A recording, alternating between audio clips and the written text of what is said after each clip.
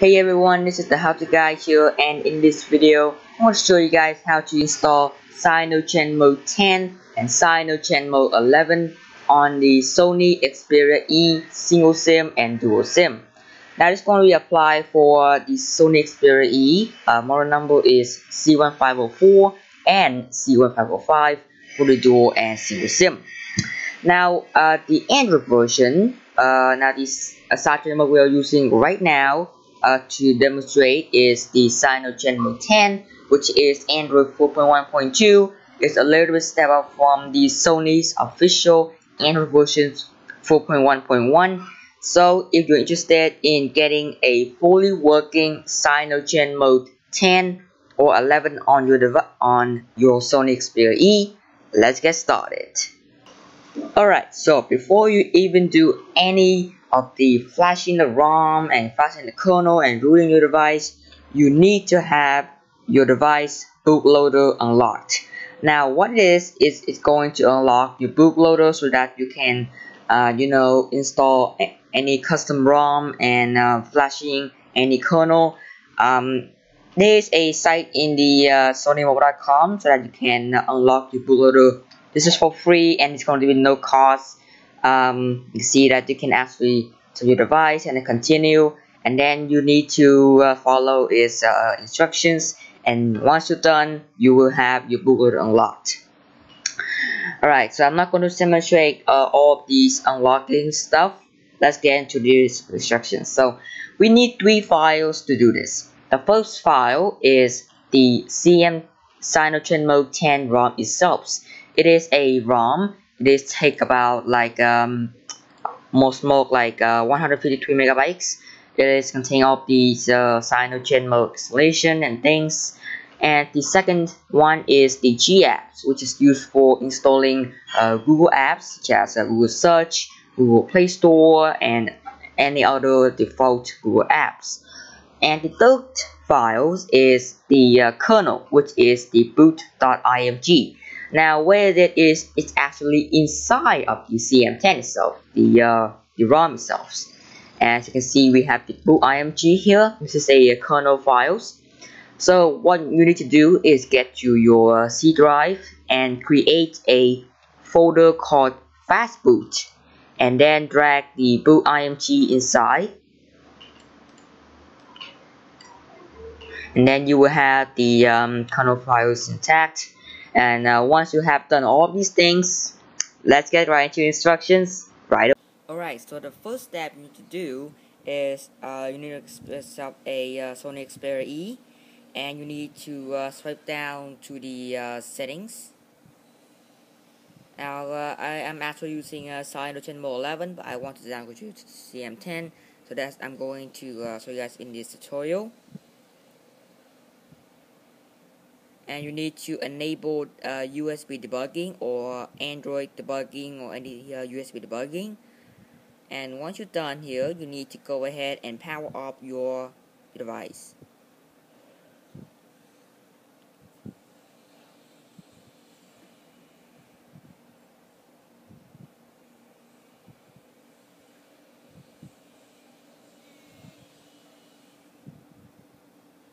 Alright, so once you power up your device, uh, we need to ready yourself a um, USB to micro USB to uh, connect um, your device to your computer to uh, make a uh, installation.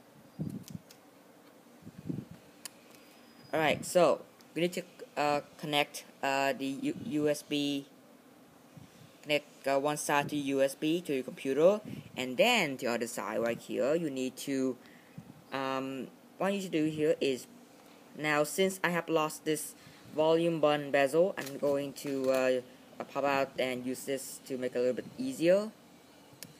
And what you should do here is you need to press the power the volume up button and uh, as well as plug in the uh, device into the same time. So and it's a little bit harder to do and go. right until you see this uh, blue LED uh, slash here which means that your device is in the fast boot mode. Alright now get back to here. Um, the first thing you need is you need to drag two of these files to the SD card uh, to install. And the first next thing you need is go to the fast boot folder uh, where you put your boot img which is uh, what we have done earlier. And then you need to um, focus on the keyboard. You need to press on the shift key. Press on the shift key and right click on the folder. And you will see a uh, another window here. I just uh, the camera.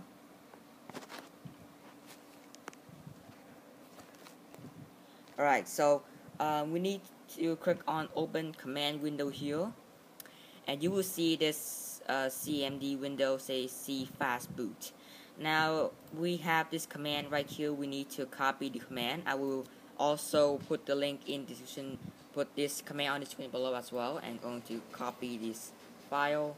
And of course all of these uh, the ROM and the GF will be in the description below but the boot IMG you need to put uh, do it yourself by uh, go to the ROM itself and take the boot. And you need to right click and you paste the uh, command and enter. Alright, so you see that um, say flashing flash operation completed? And now you can actually plug out your now what you do is pop out the SD card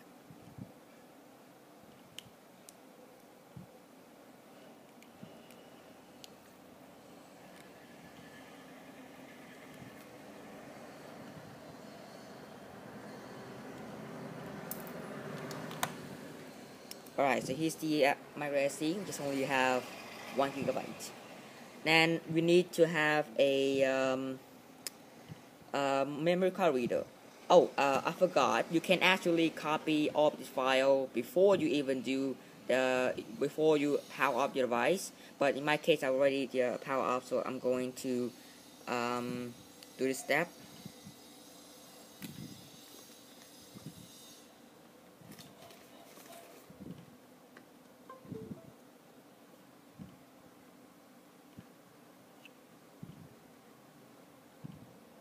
Alright, so once you have it, um,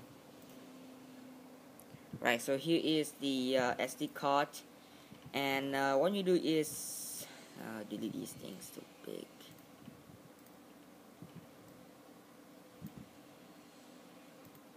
Alright, so what you do here is drag this file, the GApps and the ROM into the SD card.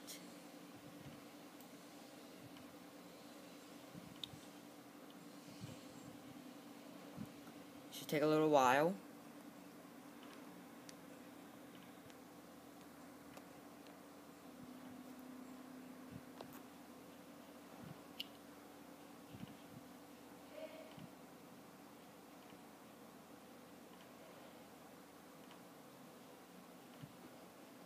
Right, for one and I will back in just a moment. Alright, so after you have copied the uh, the file to your SD card, you can now unplug it and take the SD card out. And you need to insert it on your phone. Alright so now we can enter our recovery. Alright you can enter recovery by press uh, pressing the uh, volume button, volume up button and the power button at the same time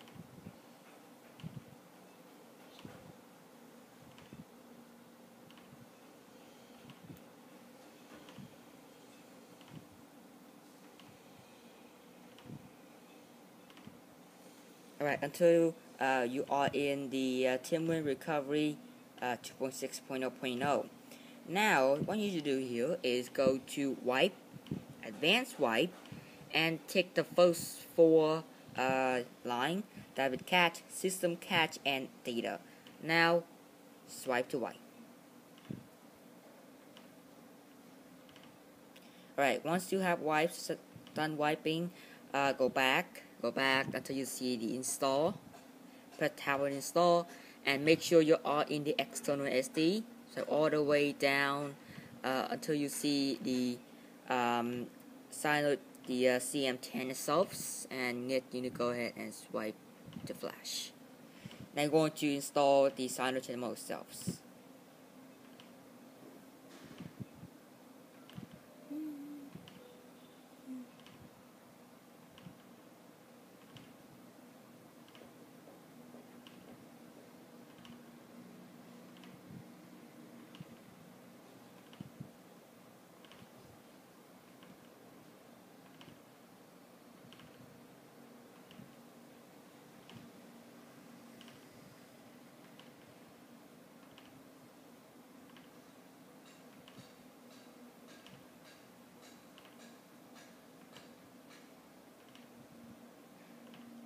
Alright, so as you can see, it says successful. And then you need to go ahead and go back. And uh, do not uh, restart yet. You just flash another file called the um, GApps. Right? And swipe to confirm. Then you're going to swipe the uh, GApps and then you, should, you will be done.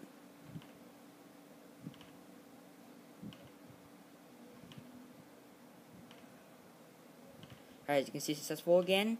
And now you can actually reboot. Right. Now your device will reboot.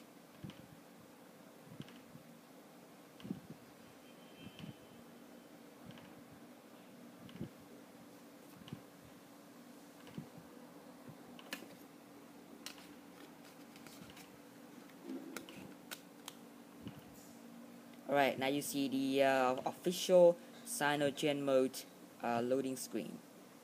Loading screen, I guess.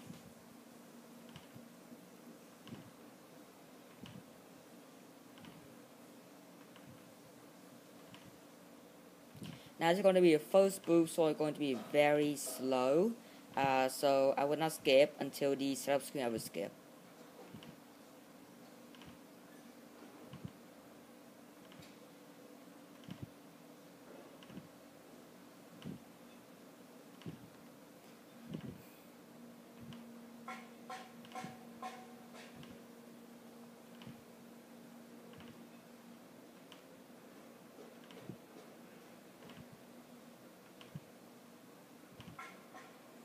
Alright, so this is it's pretty fast.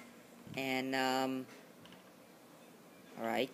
Now, I'm going to set everything up. And once I'm done, I will come back. Alright, so I have done uh, setting up. And now I am in the official screen of um, Cyanogen Mode 10.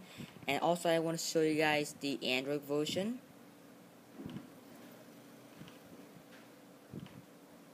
As you can see it says Android 4.1.2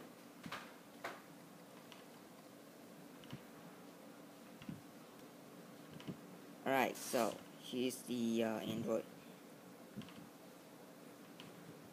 Alright. And uh, and everything works. Now I'll show you guys if camera does not work. Um, uh, everything works except for the camera of course if you take photos it will okay. You see that it can actually take photos. Very nice. But if you change to the video um, you will have some crash. And unfortunately it got stopped and uh, video recording won't work. But everything else works and very very flawlessly. Uh, thank you for watching this video. This is going to be a very interesting video. This is going to be applied for both CM10 and CM11 install I have a uh, separate uh, ROM and GApps for that. Uh, for the kernel, just find yourself. I will not post because I'm too lazy to upload. Um, but uh, thanks for watching the video. I'll see you guys next time. Peace.